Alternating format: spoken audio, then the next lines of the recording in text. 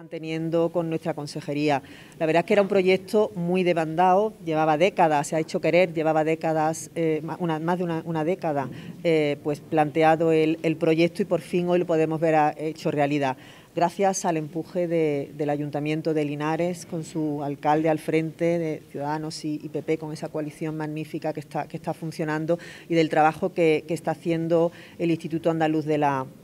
de la juventud que, bueno, al frente con su responsable y con el delegado territorial de, Jaén, creo que bueno, que es una buena apuesta de lo que se puede hacer en una colaboración entre la administración local y la, y la autonómica. Eh, este edificio pues es un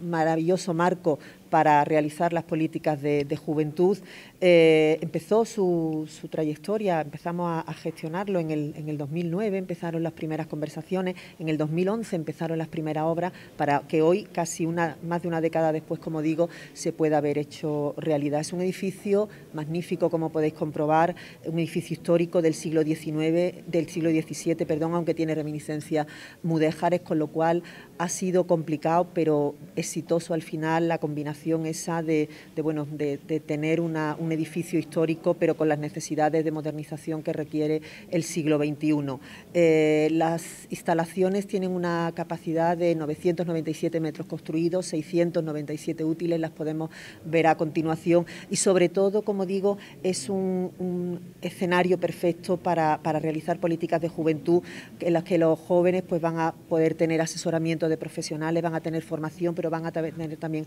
actividades de, y de ocio. Como digo, insisto, es una magnífica colaboración entre la administración local y la autonómica, pero sobre todo es que la administración autonómica necesita de las corporaciones locales, necesita de los ayuntamientos para, para centrarse en el territorio para aterrizar, porque son ellos los que están cerca de la población y los que nos tienen que decir qué es lo que están demandando.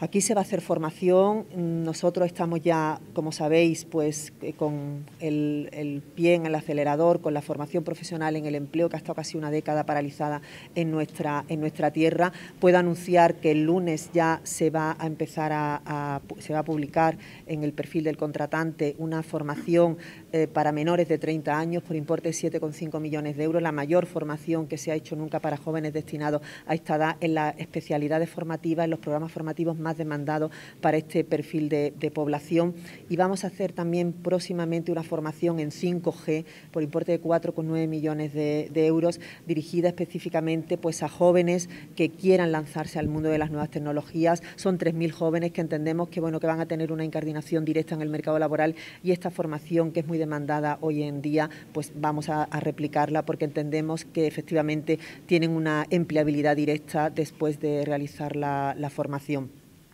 Pero además puedo anunciar que a partir del lunes se van a, a, poner en marcha eh, la formación en este centro de formación profesional de, Linares, una formación dirigida a, la primera formación que vamos a tener, siete licitaciones en concreto, dirigida a 105 jóvenes de los 450 que va a estar eh, dirigida en, principio, formación en, los requerimientos que se nos han trasladado, que son fundamentales, ya sea pues eh, formación en calefacción, en domótica, en frío, en docencia para la formación, en nuevas tecnologías, una formación en, definitiva que va, que va dirigida al colectivo más joven y que, que determine su empleabilidad. En concreto, hoy se ha publicado además en el Boletín Oficial de la Junta de Andalucía una formación, un programa mixto de empleo-formación dirigido precisamente a los jóvenes en colaboración con las corporaciones locales, una formación en alternancia que sustituye a lo antiguo a escuelas, talleres y talleres de empleo, que la evaluación que se ha realizado de la última formación que se hizo en el 2016, que, se, que, estuvo pospuesta hasta el, 2000, hasta el 2020 por los problemas en la organización que, que hubo